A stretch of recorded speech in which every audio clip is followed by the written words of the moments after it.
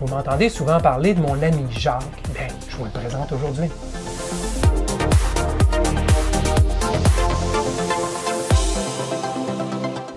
Bidouilleur, salut.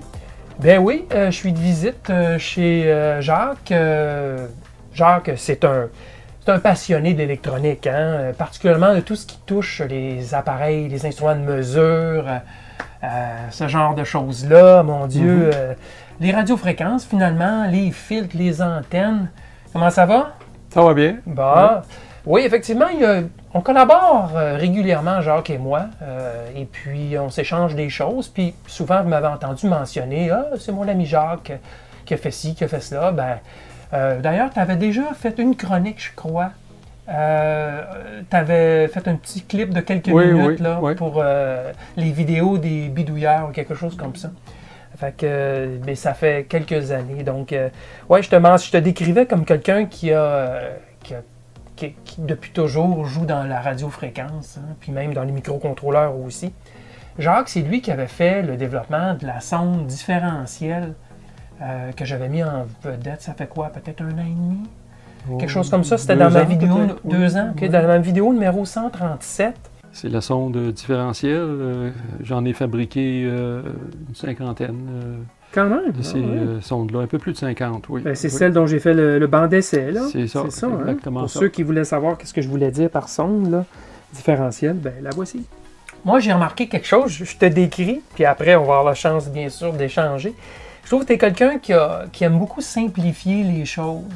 Euh, comment faire des mesures simplement avec un simple petit testeur d'antenne ou euh, une, une source simple, plutôt que de- d'acheter des gros appareils, tu sais puis utiliser, ut- utiliser, utiliser un fichier Excel pour faire les calculs, puis arriver avec le résultat. Tu sais.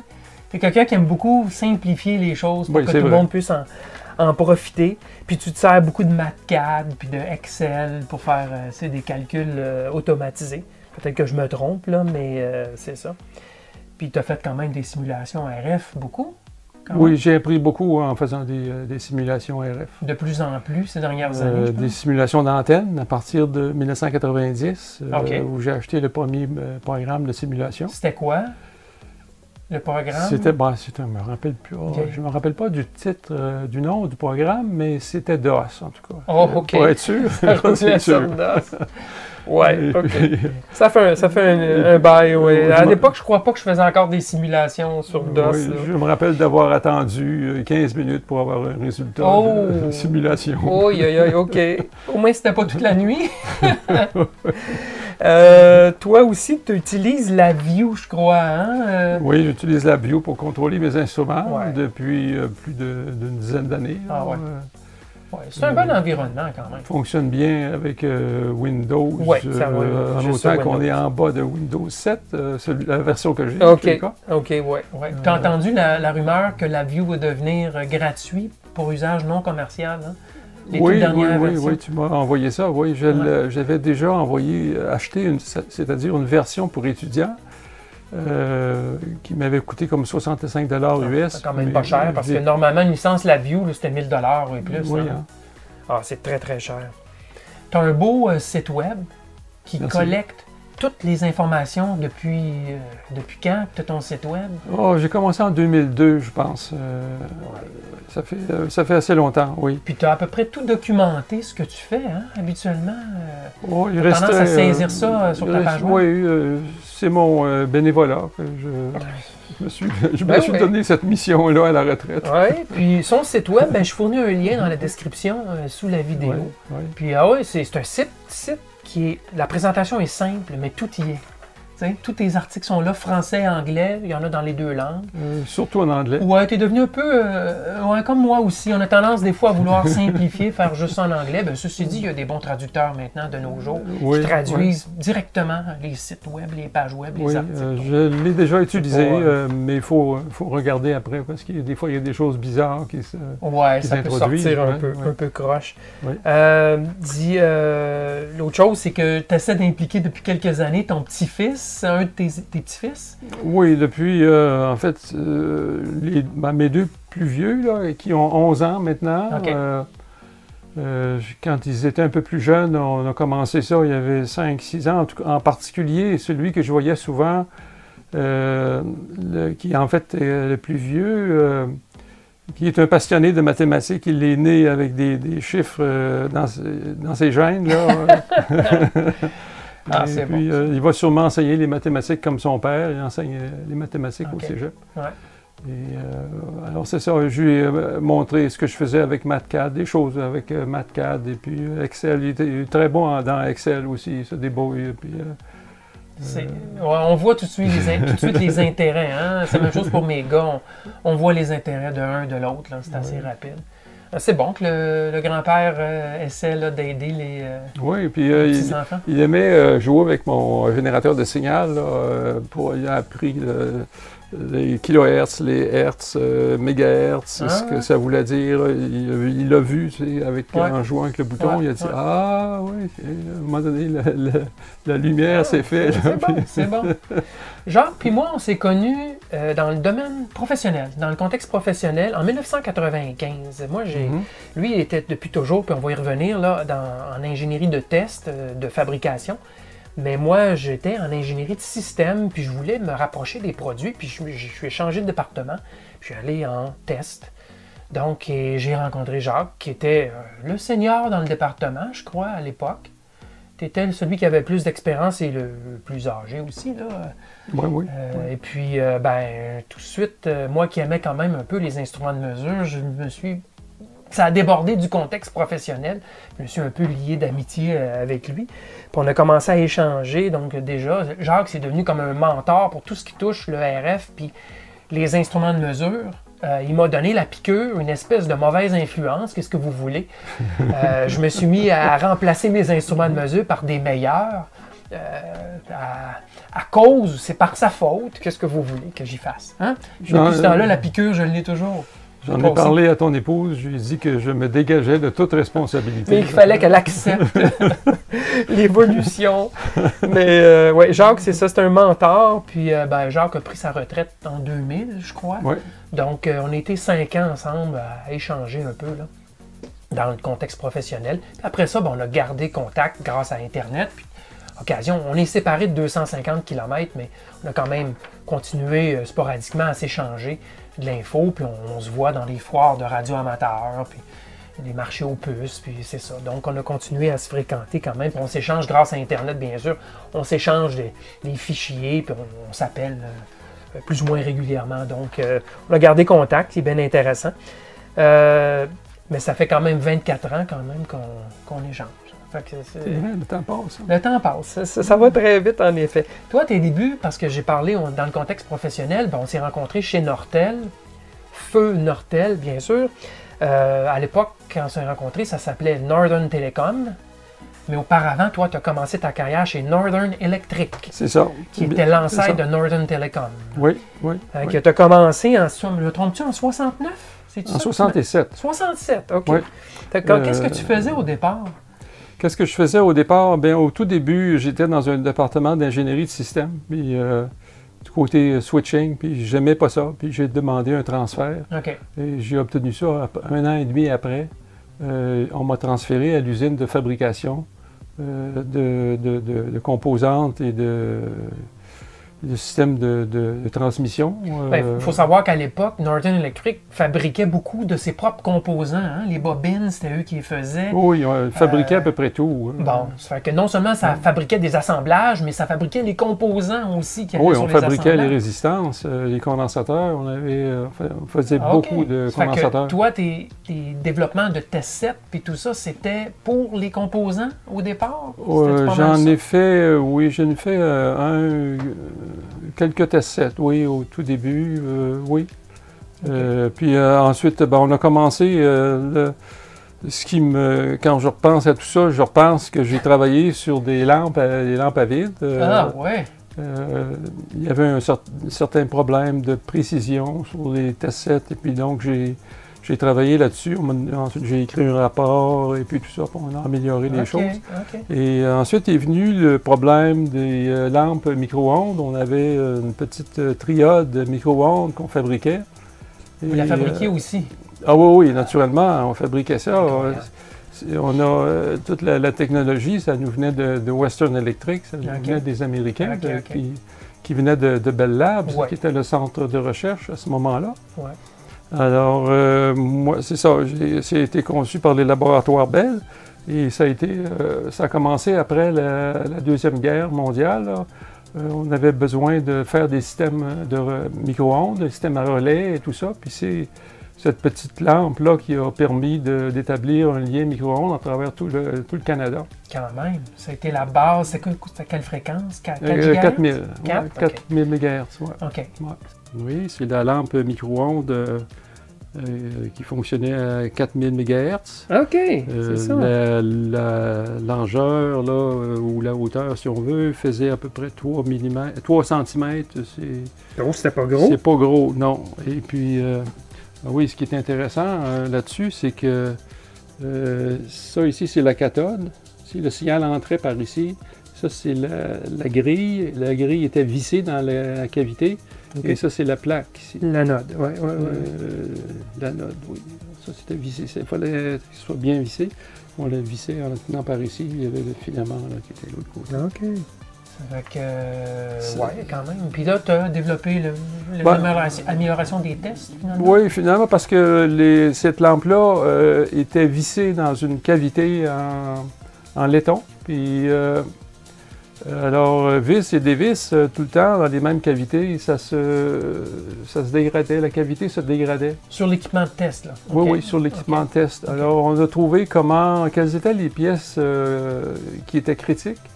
Et puis, on a écrit un document. Et on a donné ça à quelqu'un qui était qui était bon dans, la mécanique, qui ne connaissait mhm. pas l'électronique, mais il mhm. était bon dans la mécanique. Et puis, on lui a donné ça, tu, quand il arrive ça, tu fais ça, tu fais ça, et puis euh, on n'a jamais rien entendu parler après. Ça a bien fonctionné. Puis là, après ça, tu as fait plus d'équipements de tests, si je comprends bien. Tu as fait toute ta euh, carrière finalement, ou presque, sauf les débuts, euh, en test. Test de fabrication, test de production. C'est ça, oui. Ben, il y a eu un moment donné où on était transféré dans un département de technologie. Et je m'ennuyais à mourir, là.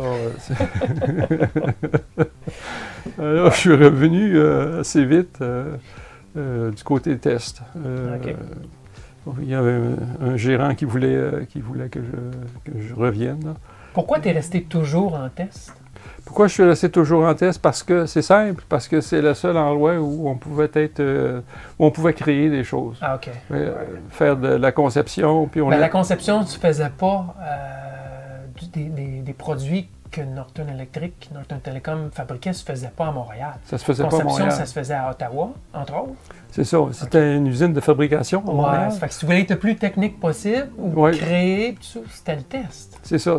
on n'avait pas de, tellement de choix. Euh, surtout dans les premières années, là, on n'avait vraiment pas le choix.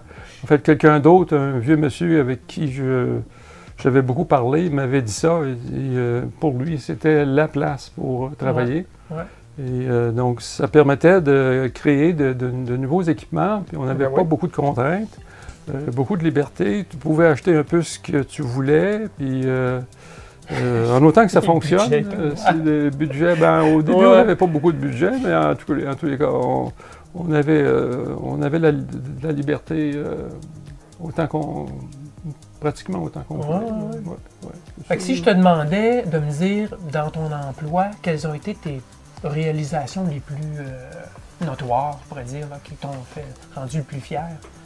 Au point de vue test 7? Au point de vue travail, oui. Au point de vue travail, test 7, oui. Ben, en gros, euh, on a commencé à utiliser des mini-ordinateurs euh, en 1974. Du HP? Des ordinateurs HP qui étaient des mini-ordinateurs. Oui, des mini, oui, oui. Série 70 euh, ou 80 ou 85, là, ce genre de numéro. Là. 70. 70, hein, oui, je pense que c'était peut-être les Qui étaient gros et, euh, je veux dire, euh, qui prenaient beaucoup d'espace. Oui, oui. et qui faisaient défaut souvent, qui avaient des mémoires à tort. Ah. OK. des torts, comme je vous ai montré dans une de mes vidéos. C'est ça, c'est ça. il me semble que c'était pas très fiable. Et puis, euh, on avait 30, on, on, les a reçus avec 24 corps, euh, kilobytes, kilobytes kilobits. Et on est monté à 32. En tout cas, ça avait coûté, euh, ça coûtait 1000 dollars par corps. Par kilo. donc, 1 dollar par, par, byte. c'est fou, c'est fou comment ça a changé. Alors, on avait des, nous, nos systèmes avaient été, c'est pas nous qui les avions achetés.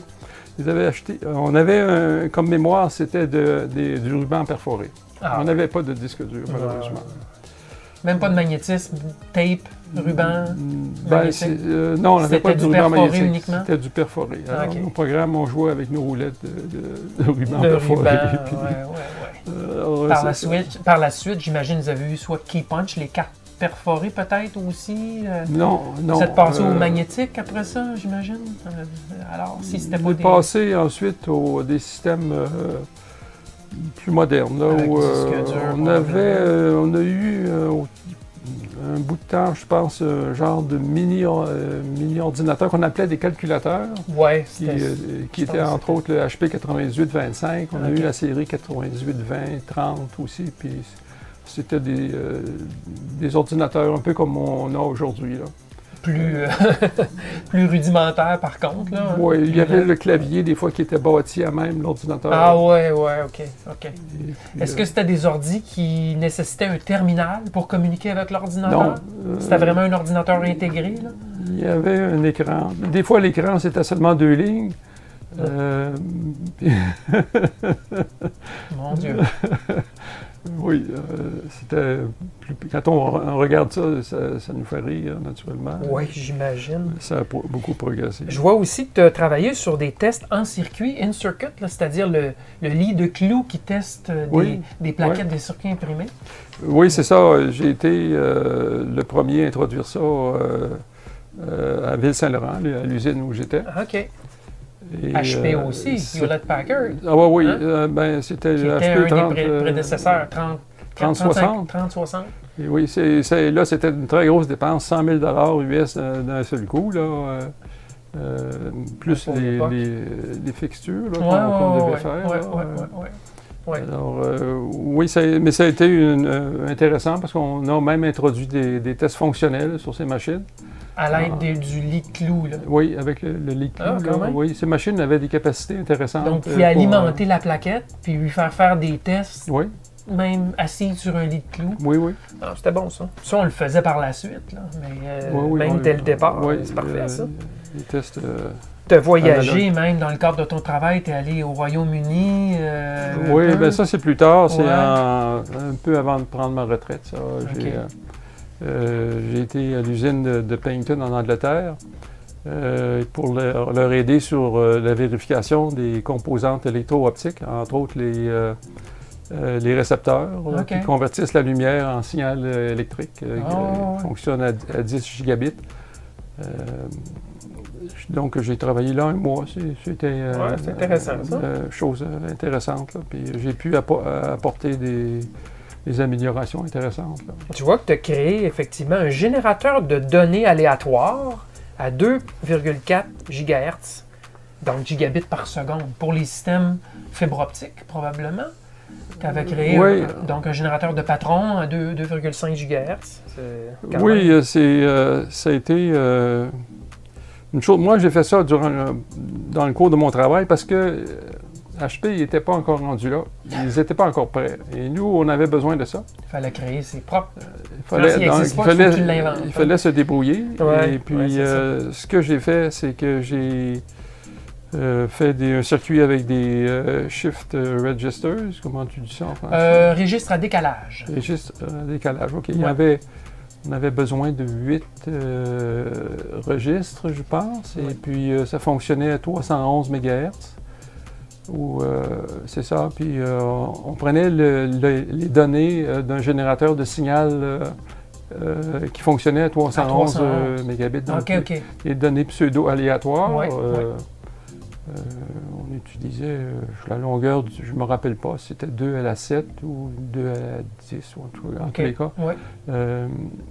ensuite, on le, on le multiplexait à 2.4 avec un petit élément que que je vais vous montrer plus tard. Là, ah, euh, avec un laser aussi, puis tout ça. je vais vous montrer ça plus tard.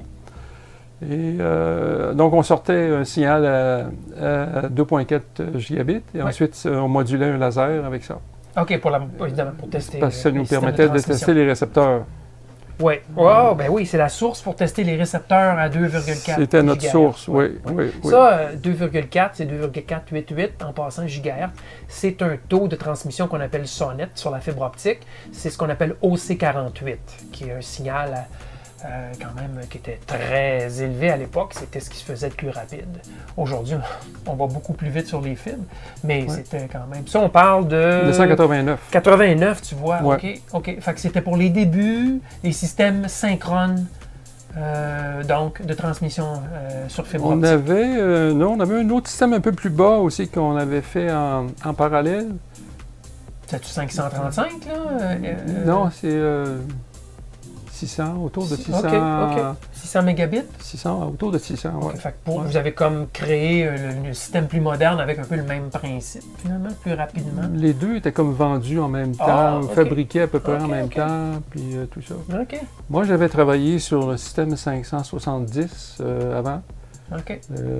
puis j'avais pris de l'expérience là. Ouais, Et, donc, ça avait été ma première exposition des systèmes à haute vitesse. Ah, OK. Euh, j'avais eu des cours par téléphone du concepteur qui était à, Edmonton, en Alberta. Oh, ça, c'était à 2000 km de chez nous, ça? oui. ouais, OK. Qui était un, Québécois, puis... Euh, euh, donc, c'était intéressant quand même de, ben l'avoir. C'était plaisant de l'avoir. Bien, certain.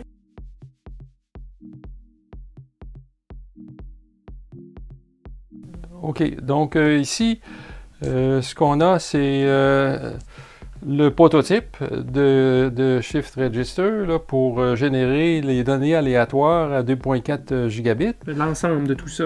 ben, en fait, oui, c'est l'ensemble. Et puis ici, ben, ce sont les, les Shift Register.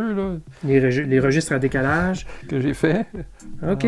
ça a été monté par un technicien. Alors ça, c'est des sorties à 311 mégabits par seconde. Il y a 8 sorties à 311. OK. Et puis ici, on connectait euh, l'horloge et les données du générateur à 311. Et donc euh, ici, c'était alimenté, euh, on alimentait ici vis-à-vis le connecteur, ici qu'on voit. Oui. Et ça sortait à 2.4 gigabits. Ça, allait moduler notre laser ici. Ah, ça, c'était le modulateur laser? Ça, c'est le... oui, modulateur laser ici. Il y avait une fibre optique qui a été cassée. Oui, mais c'est ça. OK. Est-ce qu'on monte à l'intérieur? Ben, si tu es capable d'ouvrir, pourquoi pas? La fibre optique arrive ici, là.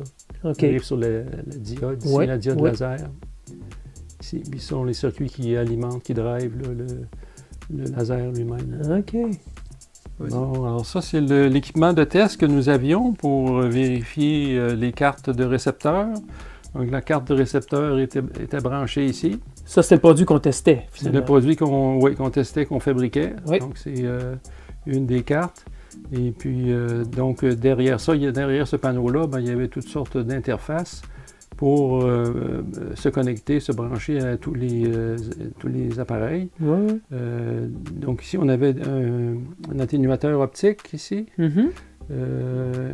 ici, c'était un générateur de fonction, je ne me rappelle pas trop. On avait deux voltmètres ici, un analyseur de spectre. Euh, ici, notre générateur de, données aléatoires, c'était ça ici. Euh, si je me rappelle bien, c'était ça ici. Oui, je crois que oui. Avec un autre module qui était ça ici. Je pense que c'était le... Il y avait un transmetteur et un récepteur. Ça, ça en était une autre partie ici, je pense. C'est qui l'individu qui est à gauche debout? Ah, ben là, c'est euh, moi. Votre humble serviteur. Je n'avais pas de cheveux blancs dans ce ah, On a remarqué, oui. Alors, c'est ça. Donc, pour euh, cette, euh, ce, générateur de signal, on m'a donné l'ordre d'excellence pour les réalisations techniques en 1989. Ça, c'est un prix de, de Northern Telecom? Oui, c'est mon patron qui m'a demandé de, de, me présenter parce que moi, je non, non. ça n'a pas d'allure. Moi, ça faisait partie de mon travail. Euh, mon patron euh, et d'autres ont réalisé qu'il fallait que je Ça méritait quelque chose. Ça méritait quelque chose. ben, bravo, c'était le fun, ça. Moi, des prix, là. Je n'ai pas eu beaucoup, mais je n'ai pas soumis moi non plus tellement. c'est ça, J'étais plus euh, en retrait, là. On faisait nos petites affaires. J'ai voyagé beaucoup par contre, j'ai rencontré des vice-présidents de, grosses entreprises et tout, j'ai participé à des bons soupers bien ah, arrosés et tout. j'ai voyagé beaucoup, mais euh, euh, j'ai pas gardé cette ligne. J'aurais pu aller dans les ventes, le marketing, tout ça si j'avais voulu. Des suites de ça, mais non, moi c'était la technique qui m'intéressait. La conception, puis les tests. Donc, je suis resté dans le domaine plus terre à terre, c'est ce qui m'intéressait. Puis j'ai jamais, jamais quitté ce domaine-là. Donc euh, on est un peu similaires, toi et moi. on aime les applications, pas tant la recherche, beaucoup plus les, mises en application de, de ces choses-là. Mais justement, parle-moi de tes premiers jours. Comment ça a commencé pour toi l'électronique? À quel âge? Puis euh, la piqûre, puis ainsi de suite. Ouais, moi, je me rappelle quand j'avais 5 ans, euh, à peu près cinq ans, on avait, il y avait chez moi un vieux radio dans un meuble en bois, puis tout ça, je regardais en arrière, puis je voyais des, lampes, des filaments, oh. c'était allumé, puis là, cette machine-là, ça parlait tout seul. Euh, ça m'avait euh, impressionné, puis donc c'est ce que je me rappelle de, plus, ancien. Maintenant, quand j'ai eu 8 ans à peu près, j'ai commencé à jouer avec des piles, des, des ampoules, des petits moteurs électriques. Euh, puis, euh, bon, je, là, c'était vraiment plus intéressant. Compris comment l'électricité de base pouvait fonctionner. Tu as dû prendre une coupe de choc électrique aussi pour comprendre que ça, comment ça fonctionnait. oui, oui, en cours de route, oui, oui. J'ai même un une fois qui était assez fort parce ah que ça m'a passé d'un bras à l'autre. Oh! sur les tubes à vide, comme vous savez, il y a de la haute tension habituellement. Hein? Oui, oui. C'est rare qu'il y ait en bas de 150 volts. Donc, euh, puis c'est du CC, c'est du courant continu. Fait que ça chatouille euh, autrement. Ah, fait que tu as commencé là-dedans. Puis là, euh, j'ai eu une radio à cristal. Ah, ben, que j'avais commandé. commencé avec les radios. Hein, j'avais vu une annonce dans le journal, puis j'ai commandé ça. Ça coûtait, je sais pas, 6 ou 7 dollars. Puis j'ai j'ai joué avec ça, puis il fallait une antenne extérieure. Oui. Euh, puis une bonne mise à la terre aussi, habituellement. Oui, oui, euh, oui. Euh, puis j'écoutais ça en m'endormant le soir, là. Puis, bon. Wow. Pour quelqu'un qui aime l'électronique, là. je m'endormais avec ça. En tout cas, vers 12 ans à peu près, j'ai acheté un livre qui s'appelait La radio, mais c'est très simple. Et qui était en français, naturellement. Euh, ça venait de France. Puis euh, j'ai appris beaucoup dans ça. Euh, c'était très bien expliqué, puis c'est intéressant de la manière que c'était présenté. Et avec ça, j'ai été capable maintenant de comprendre comment fonctionnait un radio, puis j'étais capable d'en réparer. OK. Puis là, uh-huh. j'avais mon j'avais un VOM que je m'étais acheté chez Payette Radio, qui était le, le, gros volt magasin. Ohm meter, donc un voltmètre ohmmètre. Voltmètre ohmmètre, oui. Euh, à mouvement aiguille. Ah, naturellement, c'était aiguille, oui. Ben oui. ça coûtait comme 12,95 ce qui était euh, quand même une assez bonne somme dans ce ah, Ça doit être une centaine de dollars aujourd'hui. Oui, hein? ah, oui, oui. Certainement. Et euh, bon, ça m'a servi énormément. Tout le temps, c'était. on ne pouvait pas s'en passer. Là. Fait que tu es passé aux émetteurs euh, par la suite, si je comprends Après ça, oui, j'ai pu construire un émetteur en AM oh, euh, sur la bande AM. J'avais trouvé une fréquence euh, dans le haut de la bande qui n'était pas, pas occupée. par des stations. Je l'ai occupé pour deux semaines de temps cinq fois par semaine, j'avais mon émission. Tu diffusais. Les, les, gars de Matlas écoutaient ça. Ah ouais? après Un rêve pour n'importe quel fou de la radio. Eh ben. Et oui, puis après ça, ben là, je, suis allé sur onde courte, mais là, je suis, de, je suis monté, j'ai monté de la puissance. Je pense que je devais avoir quelque chose comme 5 watts. OK. Et puis, euh, mais là, ça n'a pas été trop un succès parce que j'ai fait de l'interférence aux, euh, avions.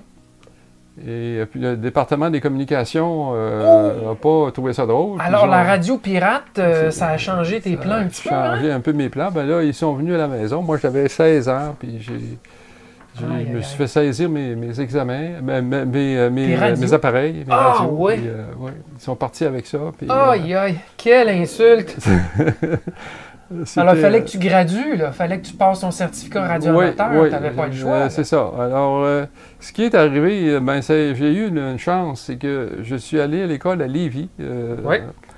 en face de Québec, de l'autre côté, du fleuve. Du fleuve euh, parce que j'étais, j'habitais peut-être 20 ou 30 kilomètres de là. Puis là, j'allais en pension là-bas. Puis j'ai, durant la récréation, j'avais une revue d'électronique. Puis j'ai rencontré un autre gars qui avait sa licence de radioamateur, dont le père euh, avait euh, une licence depuis longtemps. Et euh, bon, alors, toujours est-il que je suis allé passer l'examen.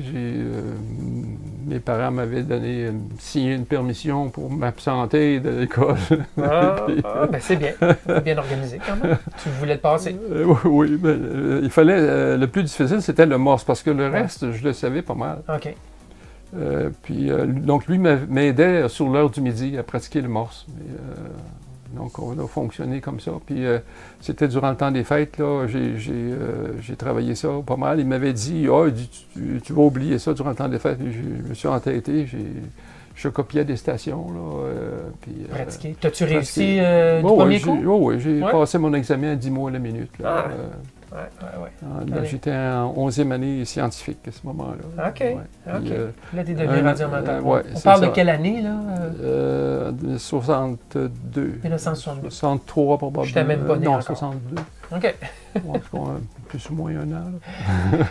ah, puis là, euh, là, là, après ça, tu as évolué achat de radio, construction de radio, j'imagine.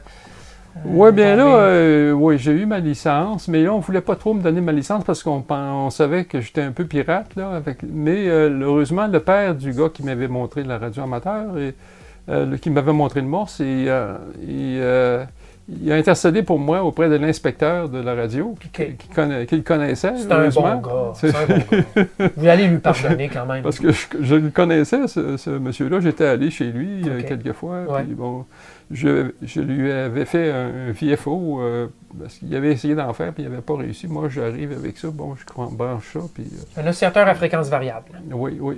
Parce qu'on fonctionnait à cristal bien souvent euh, pour les émetteurs. Sur des fréquences fixes. Sur des fréquences fixes, oui. Fait que là, toi, tu voulais pouvoir bouger finalement sur les bandes radio avec un oscillateur variable. OK. Fait que ça l'avait. Ça l'avait acheté son, ça avait acheté son vote. C'est ça, peut-être ça, oui. Ta licence. ouais, ah, c'est pas mal bon.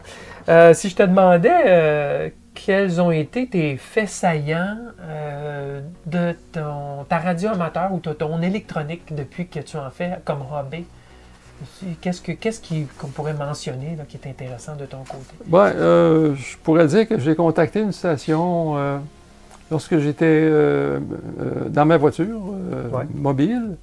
Euh, j'ai contacté une station de, de, de l'Australie. En roulant? Euh, en roulant. Ah, quand même, c'est En Nouvelle-Angleterre, oui. Wow! Euh, et puis donc, c'était en me servant d'une vieille antenne, hein, que, une antenne que j'avais confectionnée moi-même à partir d'une antenne de CB. CB, OK. Que j'avais trouvée sur le bord de la route. je l'ai remonté, puis bon, il était sur le toit de l'auto et ça fonctionnait bien. C'était sur la bande des 10 mètres, donc, ça? Oui, mais j'avais refait le, bobinage. J'avais enlevé Le, bobinage existant, puis euh, une partie. En fait, j'ai enlevé ce que j'ai pu, je ne sais pas trop. Puis euh, j'ai refait un bobinage, euh, en fait, plus gros. Puis euh, c'est ça, ça fonctionnait bien, je l'ai encore. Moi aussi, ah oui, tu l'as encore? Oui, je l'utilise. Euh, Moi aussi, mes premiers contacts en auto, qu'on appelle mobile, ça a été avec un, CB, un radio CB modifié pour la bande des 10 mètres de radio amateur. Et l'antenne aussi, c'était une antenne CB modifiée euh, pour le 10 mètres. puis c'était dans les périodes où la propagation des ondes, le cycle solaire était favorable. Et puis, écoute, on faisait le tour du monde. Hein? Euh, Facilement? Ah oui, j'avais une dizaine de watts, puis l'Europe, c'était facile à partir de l'Amérique. C'est un jeu d'enfant. Donc, c'était des bonnes années, ça. Ça va revenir. On aimerait ça avoir ça aujourd'hui. Oui, ça va revenir. Quelques années encore, pour vivre ça. Avec, OK, ça, ça a été un de tes faits. Euh, un, autre, un autre fait, c'est que j'ai. Euh, ça remonte à 1965. J'ai été là comme étudiant à Manic 5. Donc, c'est dans le, nord du Québec. Ça, c'est où il y a des barrages hydroélectriques peut-être à 1000 km de Montréal, au nord, peut-être même plus. Là. Euh, oui, euh, on construisait le barrage, euh, un super barrage. En fait, c'est peut-être le plus gros de tous les barrages qu'il y a, au Québec. Au Québec oui, le barrage Daniel Johnson, je pense. C'est ça, oui. Dans le temps, c'était le plus gros barrage à arches multiples. Dans le temps. Là. Et bon, moi, j'ai travaillé sur l'arpentage. Et euh, on restait dans des camps en tôle et tout ça, c'était des, camps temporaires. Là. Et j'étais là comme étudiant, donc j'ai fait euh, quatre mois ou quelque chose comme ça. Puis euh, je me suis apporté, j'ai apporté un émetteur, mais il n'était pas fini de terminer. Je l'ai terminé là-bas. Et puis rendu là, je me suis trouvé du, fil, qui c'est du fil qui servait pour le, pour le dynamitage. Ah, OK. Tant qu'à en avoir, ben pourquoi J'ai coupé une, épinette dans le bois. Ben, c'est des de, l'épidette noire, c'est du bois très, très dur. puis en tous les cas, j'avais réussi à trouver quelque chose pour le couper ça. Puis j'ai monté ça sur le, toit du camp sans demander la permission à personne. J'ai installé mon, long fil euh, euh, qui allait vers un autre camp. Puis euh, avec ça, je pouvais faire, euh, je pouvais travailler sur 75 euh, mètres, 80 mètres. ah, OK. Fait que, communication continentale. Donc, tu peux parler à Montréal, Québec, ces coins-là, à partir de là, quand même. En morse. En, cas de morse. En cas de morse, OK. Ah, Parce que j'avais comme 15 watts, pas plus. Oui, oui, oui. Ah, bon, OK. Puis euh, là, ben, parlons peut-être plus euh, récemment, des choses que tu fais présentement? Ben là, j'ai fait une horloge euh, numérique là, euh, qui fait les heures, minutes, secondes. qui, j'ai fait ça un peu pour mon, petit-fils, un de mes petits-fils. Ou peut-être les deux. Je ne sais pas si je vais pouvoir intéresser les deux, là, mais j'ai, commencé à lui montrer ça. J'ai fait un programme et puis tout ça. Et puis là, ça roule. ça roule bien. Puis je peux me synchroniser là, sur euh, CHU Canada. la station euh, fréquence euh, référence. Station officielle de. OK. Donc, du Conseil national de recherche du Oui, j'ai eu une pièce de Bertrand, un diviseur par 10 millions. Là, Et eh oui. Et eh oui. Un petit pic, un petit pic qui divise. Vous avez fait une vidéo là-dessus, justement, un diviseur pic. Ah oui, tu as fait ça? Oui, j'avais déjà fait ça, oui.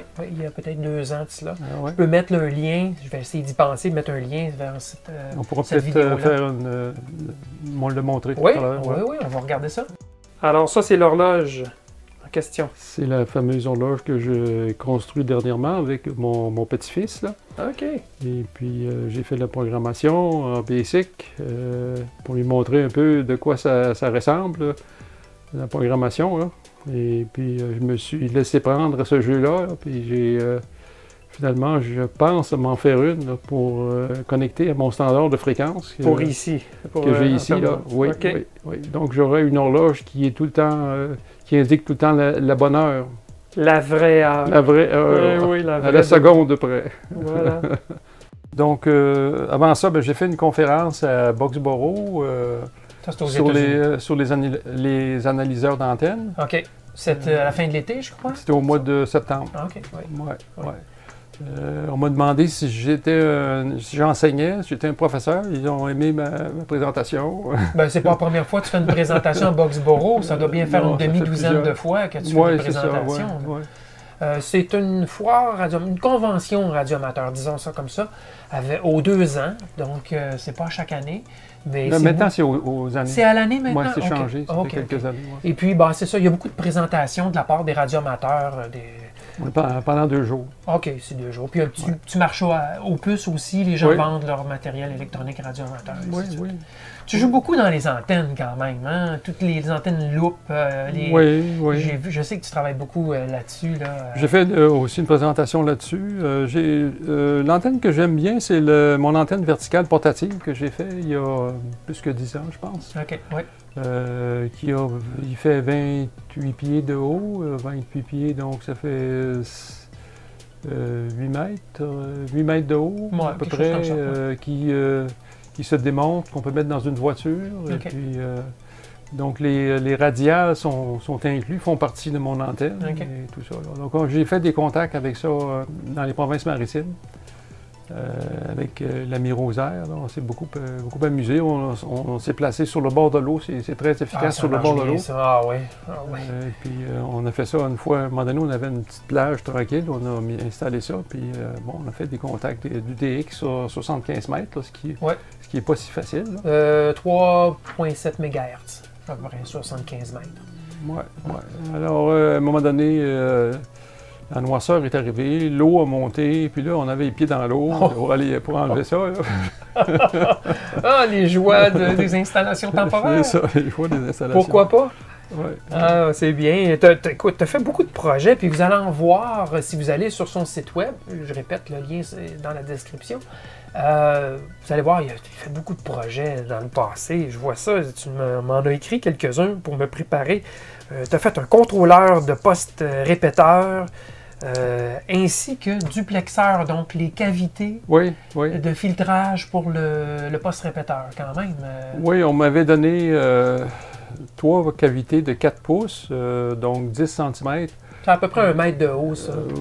Puis 10 cm. Un petit peu moins, oui, c'est ça. Euh, et euh, bon, j'ai appris euh, comment ça, fonctionnait. En fait, c'est grâce à mon programme de simulation RF que j'ai appris comment ça fonctionnait. Je me suis fait un, circuit équivalent. Puis, en fait, c'est une ligne de transmission qui a très, très peu de pertes qu'on utilise pour. Une cavité résonante. Pour, pour faire la filtration. Et donc, j'ai commencé comme ça. Et puis, j'ai, on a acheté quatre cavités de 6 pouces pour aller avec ça. Euh, donc, ça nous faisait trois cavités de chaque côté, trois pour le transmit et trois pour le receive. Et euh, donc, ça fonctionnait à 146 MHz. L'espacement de fréquence est de seulement 600 kHz, euh, ce qui veut dire à peu près 0.6% Donc, d'un côté, on transmet avec quelque chose comme 40 watts, et de l'autre côté, il faut recevoir des, microvolts. Des microvolts, des fractions de microvolts, quand c'est bien fait. Alors, euh, c'est un challenge euh, assez spécial. Sur la même antenne. Sur la même antenne. Sur la même antenne. En simultané réception-émission. ça prend des bons filtres, il n'y a pas de doute. Euh, oui. c'est ça. Ah, c'est bien, mon Dieu. On les passera pas tous, mais tu m'en as mis toute une grande quantité, mon Dieu. Euh, tu as fait des adaptateurs basse fréquence pour un analyseur de réseau vectoriel. Oui, ça, c'est sur ton site web aussi. Ce projet-là a été mis dans le Radio Amateur Handbook. Euh.